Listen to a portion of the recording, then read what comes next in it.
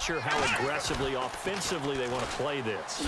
I think we'll find out just how much they trust their guys in this situation if they decide to take a shot. And now look at him go.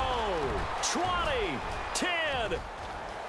And a cut to the right and some open field here. Touchdown, Houston. They'll run it now out of the gun. And nothing but daylight 20. And he's in. Touchdown. Now a handoff here to his running back. He finds an opening past the 40. The 40. Past the 20. Touchdown, Houston.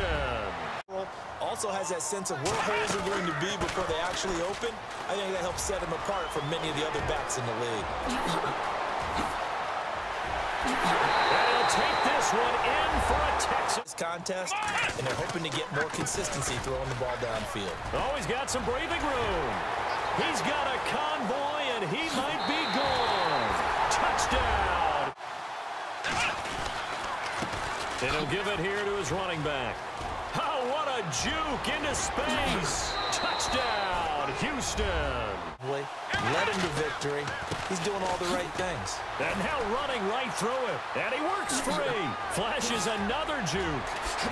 And look out. I think he's going to go. Touchdown, Houston.